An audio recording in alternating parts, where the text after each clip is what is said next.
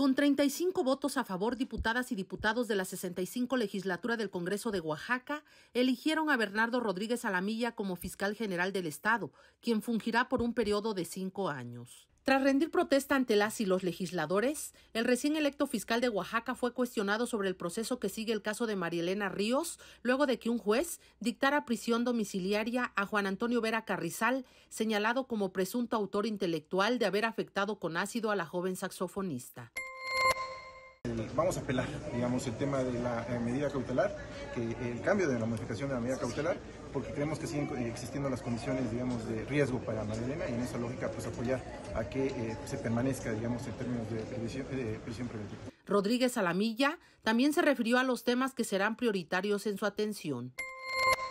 El, asunto de, determinación de las carpetas de investigación es un reto fundamental en el tema de, violencia contra las mujeres, me parece que es fundamental. Tema de formación y capacitación también con los propios eh, compañeros que eh, forman parte de la Fiscalía y en general, digamos, eh, mejorar los protocolos con los cuales se realizan procesos de investigación, ¿no? sobre todo en temas de delitos de alto impacto.